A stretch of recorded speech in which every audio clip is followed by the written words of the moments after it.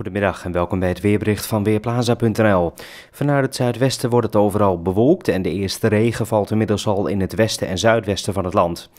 Langzaam gaat de regen zich over de rest van het land uitbreiden. In Groningen kan het nog tot later in de avond duren voordat daar de eerste regendruppels vallen.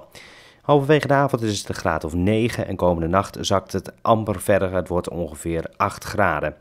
Verder dus van tijd tot tijd regen in het noordoosten iets droger met misschien ook wat nevel.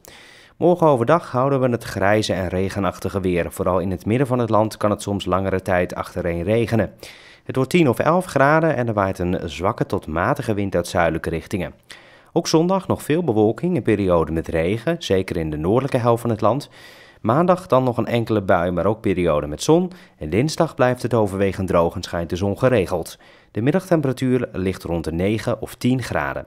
Ik ben Ben Langkamp van Weerplaza.nl.